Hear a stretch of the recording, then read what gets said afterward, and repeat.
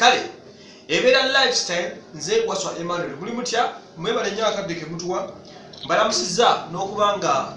mugoberera mukola omulimu gw'amaanyi mbagala nnyo rose construction 078884 795 ekola ku yakuzimba ya banoonyeko omuwuliziganye kale njagala nalige ku mwana omuwala omukyala juliana kanyomozi the princess of toro ono bambi avuddeyo okwongera okwebaza abantu bonna abasobodde okuba nga bakuuma ekirooto kya mutabani we omugenzi caron kabugo nga kigenda mu maaso. Okusinziira ku juliana kanyomozi alina obubaka bwakedde okuteeka ku mukutu gwe ogwa facebook ng'ekiguteekesaayo yeebaza abantu bonna abasobodde okuba nga bateeka bateeka mu nkola. Ekirolo kya mutabani we kye yali yatandikawo emyaka nga kumi egiyise emabega okusinziira ku kirolo kino mwana mulenzi ono yalina ekigendererwa omugenzi caron kabuga omutabani wa juliana kanyomozi yalina ekigendererwa ekyokufuuka omugabirizi w'obuyambi era ku myaka gy'emito kwe yafiira yali yatandikawo ekibiina nga yambiwako maama we ekyali kiyitibwa caron kabugo foundation. So obubaka buno juliana butaddeyo ng'asiima bannayuganda bonna n'abantu bonna bonna abasobodde okubanga omwaka guno ogubadde unpredictable ogubadde ogwebezi omwaka gwa covid basobodde okuba nga bangi bavaayo ne bongera okutuukiriza ekirooto kya mutabani we era ne bakipushinga maaso. Era obubaka bwatadde nga bugamba buti bubadde bwa luzungu kambasomere mujja kubivunulira mpola mpola juliana agamba nti although the year has been unpredictable unpredictable one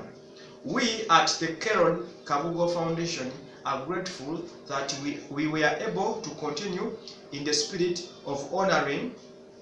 uh, in the spirit of honoring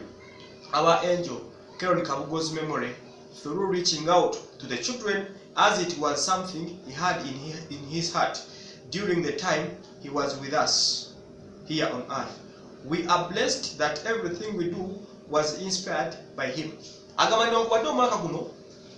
gubadde muzibuzibu omwaka gwa covid gwatta buli kimu naye bo nga ba juliana mu foundation eya angel kabugo caron basobodde okubaako bye bakola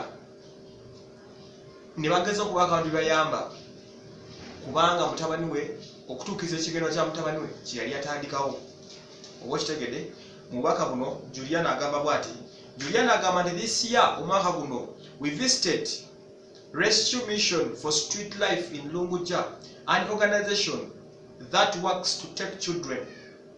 specifically boys off the streets and integrate them back into their communities or give shelter to those that for different reasons cannot be reconciled with their fa families. Agamba nti omwaka guno bo nga bakabugo caron foundation. Basobodde okugenda mu maka agamanyikiddwa nga rescue mission. Ekitongole kino kiyambako mu kuŋŋanya abaana b'oku street naddala abalenzi